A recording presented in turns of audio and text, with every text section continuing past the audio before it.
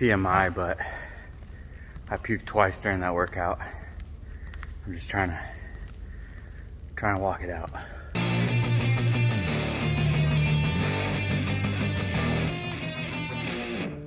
In the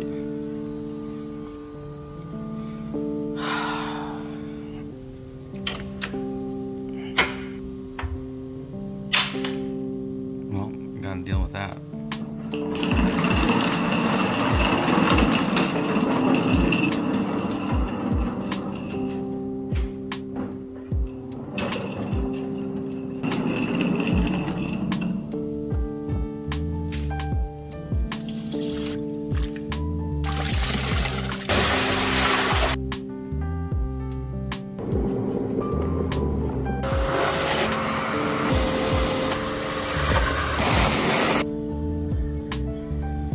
That took way longer than it should have. I have an actual plumber working on it now, uh, but I need to get some materials for something I want to test out.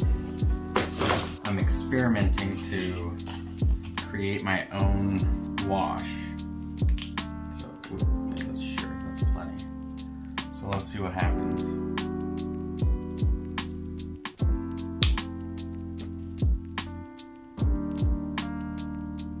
So I'm pretty happy how that initial wash came out. Uh, it was my first time ever doing it. Um, I'm gonna have to come up with something similar. I don't have that exact black paint here. That was just something I had at work, but something similar, just, you know, cheap black acrylic paint from the dollar store or whatever. Come up with a, a solution to, to use as a, a wash.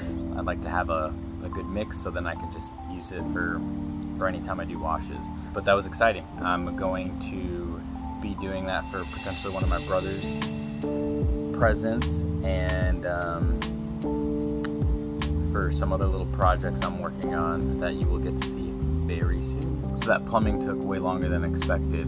At one point they believed they fixed it. Shortly after I got back from that shopping trip, I called them back again and by the time I left right now, there were three plumbers working on it. This is interesting. It wasn't like it was like pouring out, gushing out water.